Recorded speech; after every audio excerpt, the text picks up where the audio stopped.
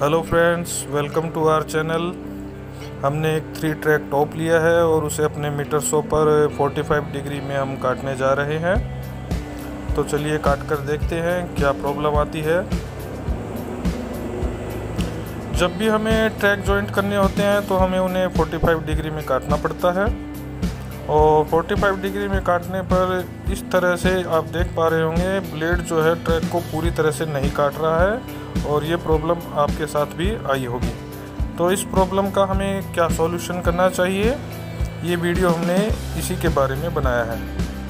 इसका एक सॉल्यूशन तो ये है कि हम एक इंची का कोई भी हैंडल ले सकते हैं। जैसे हमने एक इंची का ये वाला हैंडल लिया है। इसको ट्रैक के आगे की तरफ़ लगाकर अब हम ट्रैक को काट सकते हैं। तो चलिए काट कर देखते हैं।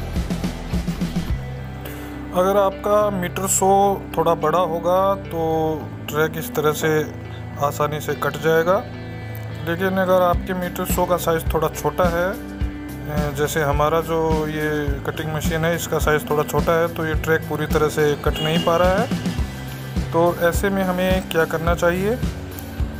ये देख पा रहे होंगे आप, डिग्री जो है बराबर नहीं कटी है। अगर डिग्री बराबर नहीं कटेगी तो जॉइंट, कॉर्नर जॉइंट जो है वो बराबर मिल नहीं पाएँगे। तो इसके लिए हमें क्या करना चाहिए? ये हमारा थ्री ट्रैक टॉप है।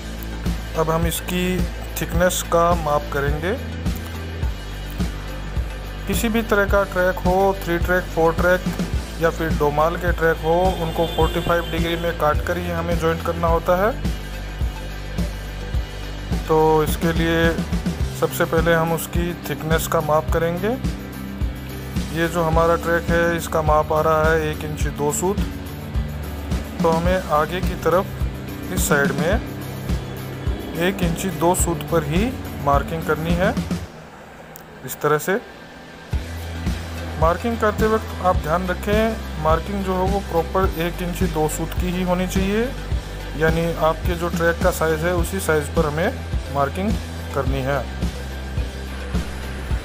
अब हम इसको राइट एंगल से प्रॉपर मार्क कर लेते हैं, इस तरह से। और मार्क करने के बाद मार्किंग को एक बार फिर चेक कर लेते हैं। एक इंची दो सूत आ गई है या नहीं? जी हाँ एक इंची दो सूत बराबर आ गई है। अब हमें अपने मीटर सो को ज़ीरो डिग्री पर रखना है और वर्टिकल से हॉरिजेंटल 45 डिग्री करना है। अगर आप मीटर सो चलाना जानते होंगे तो ये 45 डिग्री हमें इस तरह से करना है इसको, और इसको ज़ीरो डिग्री पर रखना है। ब्लेड का अंदर वाला हिस्सा मार्किंग को टच करना चाहिए, और साथ में ये ध्यान रखें कि ट्रैक जो है वो ब्लेड के साथ आगे की तरफ़ ना खिसक जाए। उसको अच्छी तरह दबा कर रखें। इस तरह कटिंग करने पर हम थ्री ट्रैक फोर ट्रैक को आसानी से 45 डिग्री पर काट सकते हैं। उम्मीद करते हैं जानकारी आपको अच्छी लगी होगी। इस वीडियो से रिलेटेड आपका कोई क्वेश्चन हो या क्योरी हो तो आप हमें कमेंट बॉक्स में पूछ सकते हैं।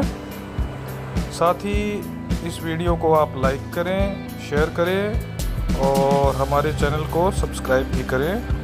Thank you very much